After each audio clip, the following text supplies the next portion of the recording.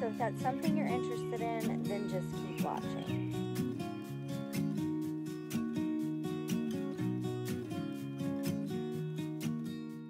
To start off, I start off with these canisters that I got from a yard sale. If you guys have not seen my uh, thrift haul, then I will link it in the cards in the right hand corner and you can probably go over and watch that real quick and then um, watch this if you like. But I do insert before pictures after. Of course, I'm terrible.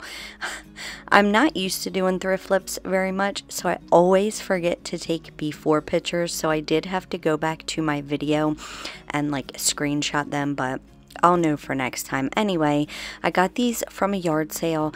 Um, they stunk pretty bad, and I hated these little, I don't know, embellishments on the front. So I just took my heat gun and they were, I guess, like a clay or like a weird plastic.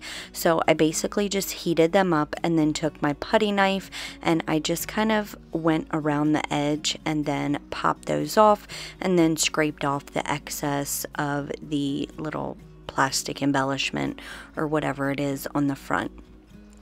I then gave everything a really, um, I was going to say really good, but that's a lie. I give it a distressed coat of my white Waverly chalk paint. And because this had a really funny smell, like if you guys go to Goodwill or any thrift stores, it has that very distinctive smell. I'm really funny about smells, you guys. So I did give everything a coat as well as like the insides of the canisters as well as the bottom and the bottom of the part that the canisters go into and um, like I said I give it a distress coat just because I like the way that it looks kind of weathered and old which is my style if you don't like that you can always give it a good coat maybe even a second coat if you need to, but I only had to give it one distress coat. Next, I go in with my little mini chip brush and some antique wax by Waverly, and I just distress all the edges of the canisters, the lids, as well as the part that holds the canisters.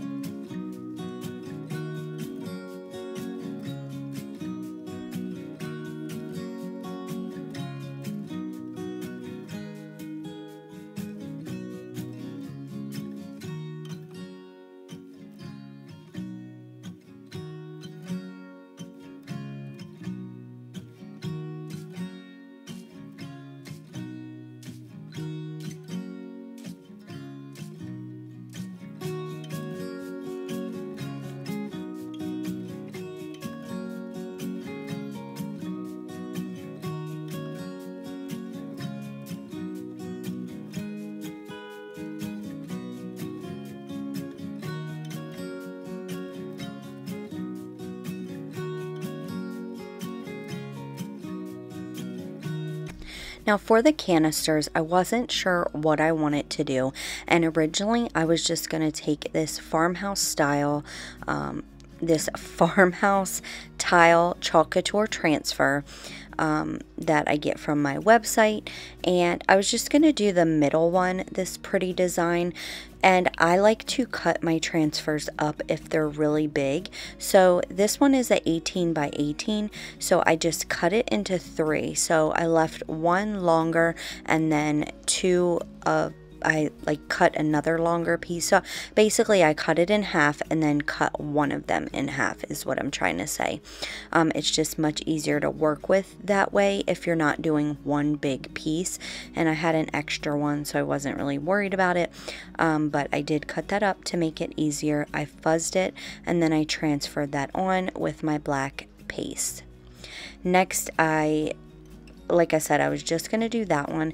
And then I figured that it would be cool to do different designs on each. And I slowed this down because I wanted to show you guys how beautiful this comes out once you pull that transfer back. It's as easy as that and anybody can do it. And that's what I love most about Chalk Couture. So I did the first one in the farmhouse tile. I did the second one in that pretty little design. And then you guys, I don't really know what to call these other two. So the second one was kind of like greenery. And then the third one kind of looked like another tile pattern. Um, but I will leave all the products that I used in the description box below. So once I had all three of my canisters um, chalked up, then I do take some jute and some hot glue. And uh, for the first and the last one, I wrap jute around the top about four to five times and then the middle one I wrap jute at the bottom and then once I have it wrapped then I secure it in the back with some hot glue once again.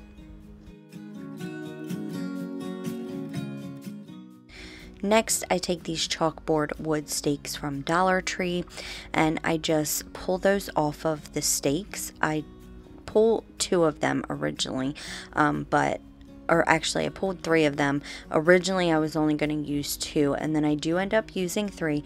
But anyway, I got these beautiful stickers from Dollar Tree. I got them off of the Dollar Tree D-Stash group on Facebook and um, stay tuned for a little surprise here in a little bit. I will share something you guys aren't going to want to miss. But I do take a chicken and a cow. They're from different sticker sets and I um, put them onto the little chalkboards. But I realized that the cow didn't look like the chicken. Um, you probably can't tell from this angle, but up close it was bothering me. Um, so I did just take a cow from the exact same sticker set and put that on the other little mini chalkboard and then I glue them down to the middle of the first and the last canister. For the middle canister, I take this little mini wreath that I believe I got from Hobby Lobby and some greenery that I got from Walmart and I just glue that greenery around the wreath.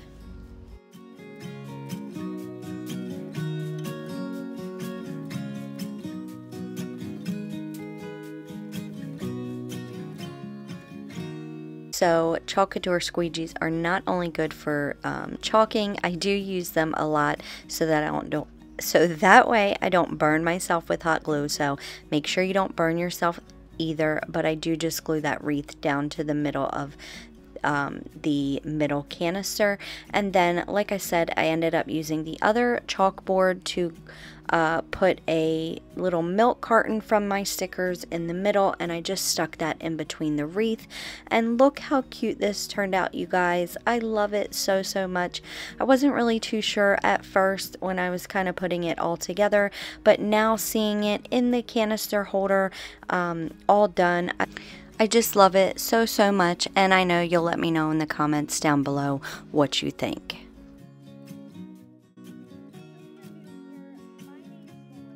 I love to do all things crafty on a budget, especially Dollar Tree DIYs. Farmhouse decor is my specialty and much more. So I would love if you would stick around by clicking that red subscribe button and then just tap the bell and all to be notified every single time I upload. So each week on my channel, I show you guys my earrings of the week. My sweet subscriber Melissa sent me these and I am so grateful to her. Look how gorgeous they are, you guys. She said that um, she saw a few pairs. She couldn't decide on one, so she bought me two. So thank you so much, Melissa.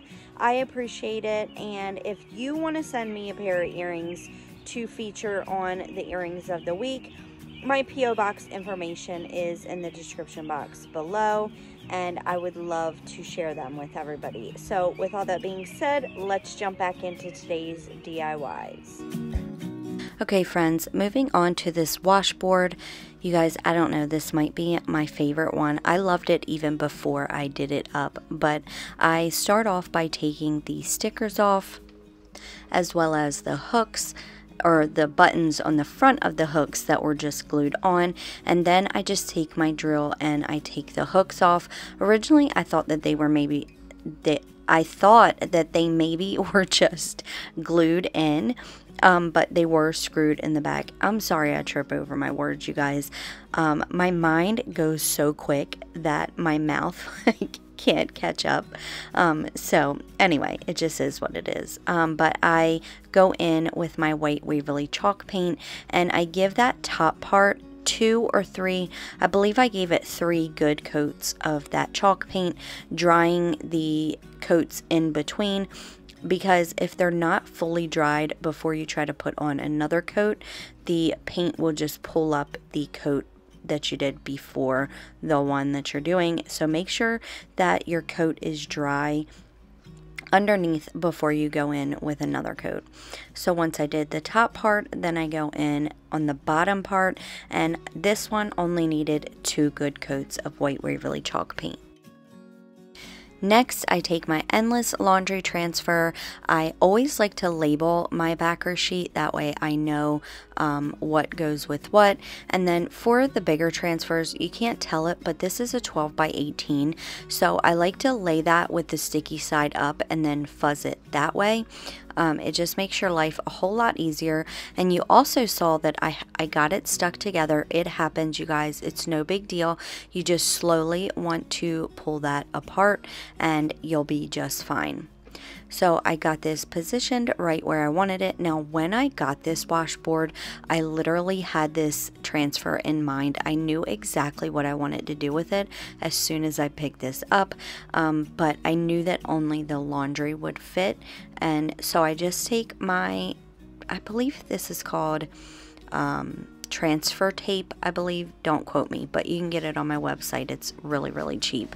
And I just tape off those little lines and then I transfer on the word laundry as well as wash and dry and fluff.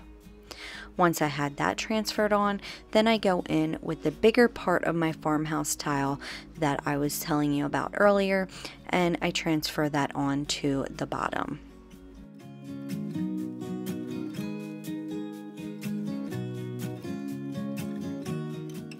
I then just use my quick dry tool that again I got from my website to dry my paste and then I went in with my distressing ink and my blending brush. You can get these in my Amazon store and all my links are in one place so in the description box if you click the title of this video a box will appear and then you will see a link tree um, link and it has all my links. You can find every single one. Um, anything I ever talk about is in one place just to make it easier for you guys. And then that way I don't have a zillion links in my description box. But I do just take my distress ink and my blending brush and I just give, I, I randomly do this. There's no rhyme or reason, but I just wanted this to look old and weathered and antique so I do go along the edges and then randomly in the white spots.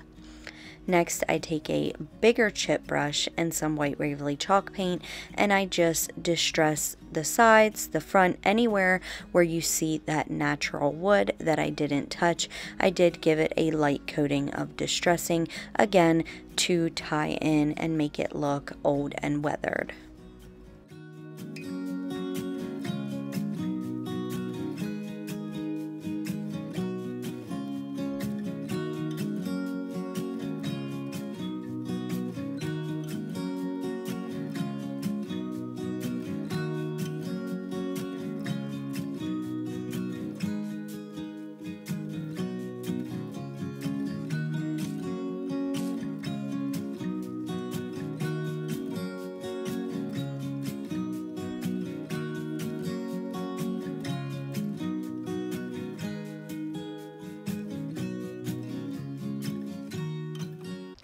Last but not least, I go in with my drill and the screws once again, and I attach those little handles or hooks, whatever you want to call them, back onto this sign. And you guys, I love this so much. It was so quick and easy to do. That's why I love Chalk Couture so much because the transferring part literally took me five minutes, and the after or the way that it looks after I was done is stunning. You could probably sell this piece for 60 to 70 $70. Okay friends, so I'm going to start doing small little giveaways every other week on my channel. Hopefully I can remember. But this is the new giveaway. It is going to be one set, so all four of these to two winners. It ends July 9th at 11.59 p.m. Eastern Standard Time. And it's really simple to enter. All you have to do is like this video, comment your favorite farm animal and your favorite project in this video, share it with someone who you think would enjoy this, and for an extra extra entry if you go to my link tree um, link in the description box and join my VIP group. You will get an extra entry into this giveaway.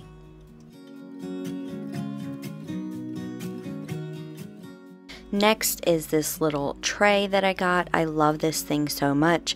A few of you guys had let me know that I could get this at Dollar General. I got it at a yard sale for $3. A lady bought it for her sister. Her sister didn't want it. So I was like, yes, I want it for $3. And they're saying that in the store it's $5. So I definitely got a good deal. But this one is super duper easy. Originally I was thinking that I would chalk on this, but I wanted to make it really, really simple and easy for everybody to do. So I do just um, lay this, lay the tray on a piece of foam board, measure it out, cut it out with my utility knife and then I take a piece of scrapbook paper and I again lay down the um, foam piece of foam board and then I measure it out and cut it out. Now I'm not very good at cutting, you guys. I cannot cut straight to save my life, so I knew that possibly the white could show through. So I do just take some truffle Waverly chalk paint and I put a coat around the edges as well as the edge of the top. Um, I didn't worry about painting the entire thing, but I just didn't want any of that white to show through. And then once that was dry, then I take my glue stick and I I glue right onto whatever I'm doing. So I don't like glue the scrapbook paper. I just glue the foam board. Um, that's just much easier for me. But if it's easier for you to glue the scrapbook paper then that is your preference. But um, once I had the glue laid down then I just lay down the scrapbook paper smooth it out make sure none of the um, glue is on the sides of it and then I place that right into my tray. Last but not least, I take some jute just to dress up the edges of this and I put a dab of hot glue on the back and then because this is metal, um, the jute wanted to keep sliding so I did just put a bead of hot glue every so often to keep it in place and I did have to do that for the first two um, like go arounds, I guess you can call it. And then once I had the first two, then I could just wrap it um, without gluing it. And then once I was done, obviously, I, um, I believe I did like five uh, wraps around and then I just glued it in the back and I love the way this turned out you guys um, I'm my style is changing a little bit. Um, normally I would go for like a lighter wood, but I'm kind of into the darker woods right now. So you can let me know in the comments down below if you would choose a lighter wood scrapbook paper or a darker wood. Moving on to this little shelf, I love it so much, but this was like a cherry wood and I don't like that. It's not my style. So I started by taking the little hooks off of the bottom and then you guys, this leaf was a real pain to get off. So not only was it glued, um, it also was held on by like these little metal wires. So I started off by taking my heat gun, heating up that leaf. I couldn't really get under it to heat it up. So I just heated it from the top and then twisted it and realized that it was attached through the back. So I just took my needle nose pliers and I also had to use my staple pull because one of them was pretty deep in there and just kind of lifted that up so that I could pull that leaf off.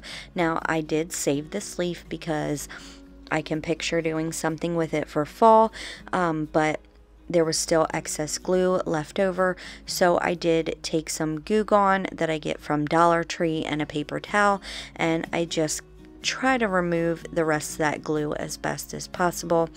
Obviously, I'm not going to get all of it since this is kind of weaved, um, but I do get as much off as I possibly can. Next, I go in with a wet paper towel and I just kind of clean this up. If you guys buy anything from thrift stores or yard sales, you know that generally it's all dusty. People probably leave it in a pile forever until they can take it um, and drop it off. So I definitely like to clean up my pieces before I um, do anything to them. Um, and originally I was going to paint this, but I then just ended up sanding down all the cherry parts or the stained parts, I should say, leaving that weaved part that woven part, I should say, in the middle. Um, I left that alone because we're going to paint that here in a minute. But I do go in with my special walnut at first and I didn't like it. It wasn't dark enough. So I ended up going in with my Jacobean um, stain and giving that a good coat of that stain. And then once I lay down the stain, I pull it back up with a paper towel. When you're staining anything, you want to let that dry really, really good, or else you're going to make a mess all over your hands, like I do, because I'm impatient. I have no rust in my butt. um, but anyway, I did let it dry for a good while and then I went in with my white Waverly chalk paint and I painted that middle part. Once that paint was dry, then I go in with a mini chip brush and some antique wax and I distress it. I just wanted you to be able to see that part. I loved it so much that I wanted to accent it and you couldn't really tell the pattern with just the white paint so I wanted to make sure that that stood out. Once I did that, then surprise, surprise, I distressed the little hooks as well as the entire shelf, other than the middle part, obviously.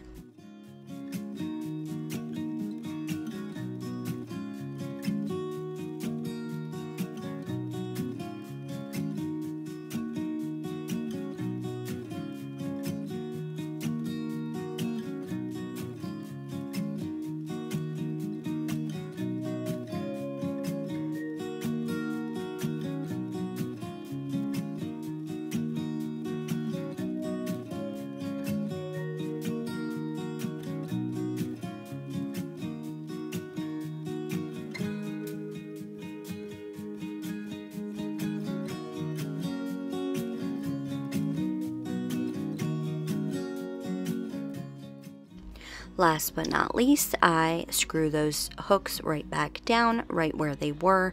And that was it for this project, you guys. I love flip I love thrift flips because they are just so easy to do. Half of the work is already done for you.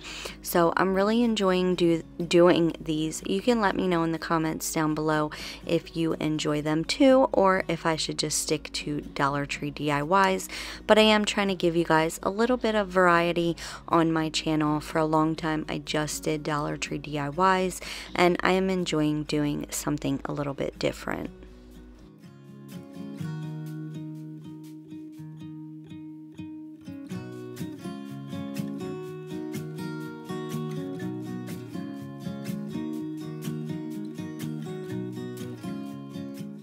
Okay guys, moving on to our second to last project. We got a little visitor visitor here. Little Miss Bella just woke up, so she's right here in my lap if you hear her.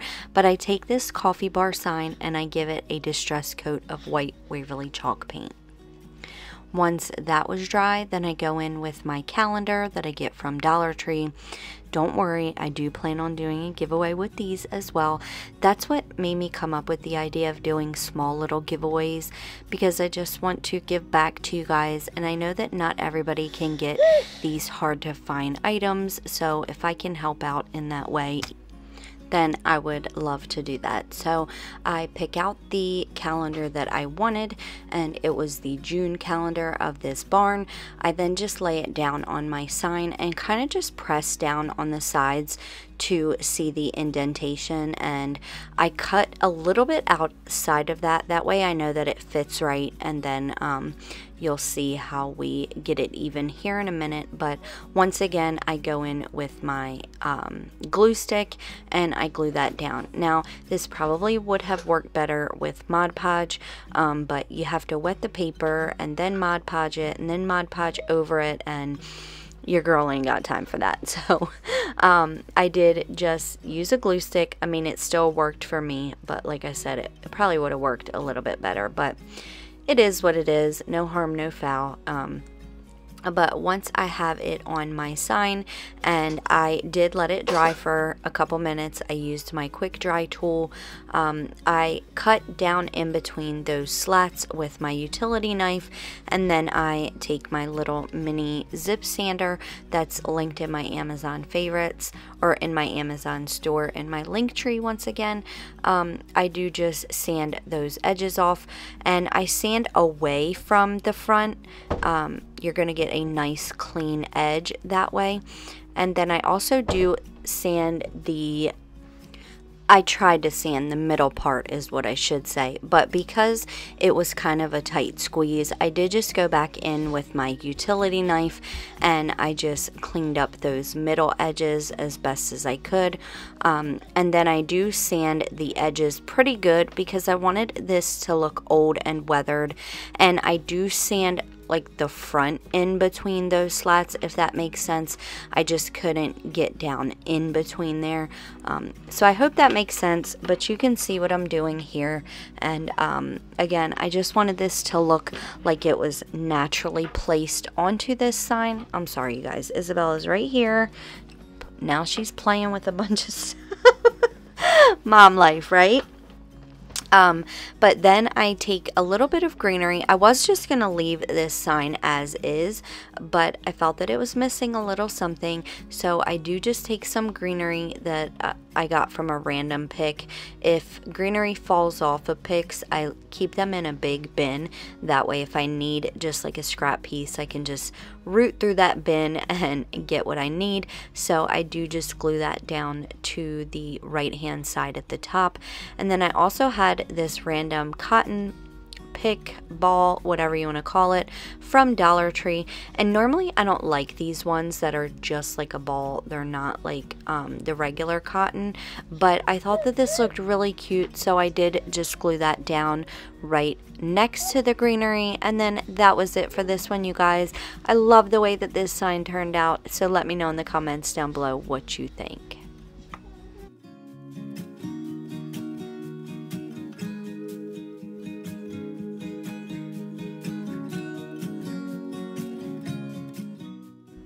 Okay friends, so for the last project, I love this one so much. I just wanted to show you that these are all three of the different wood plaques that you can get from Dollar Tree, but I did go with this one that kind of had like curved edges to it, and I give it a good coat of Antique Wax by Waverly. I never have done this before, but I actually really love the way that this looked. So I'll definitely be doing this again in the future. I have seen other DIYers do this, but I just personally never did. Um, but I'm glad that I tried it because I actually love it, like I said. And once I gave it a good coat, then I go in with my bigger sander and I just sand those edges down. And I love the effect that this gave. It looks old and weathered on the edges and it just looks really cool. I then take my little bird cage thing and I got these LED lamps. I had no idea that the silver ones have like a I don't even know what kind of light um, that you want to call it, but it it's like the brighter one, and then the gold, um, the gold, the ones with the gold top have like the warmer light. So I did end up going with that one. I um, took the tag off as well as the little part that um, makes it turn on and off and I took a piece of floral wire and I just attached that to the middle of the inside.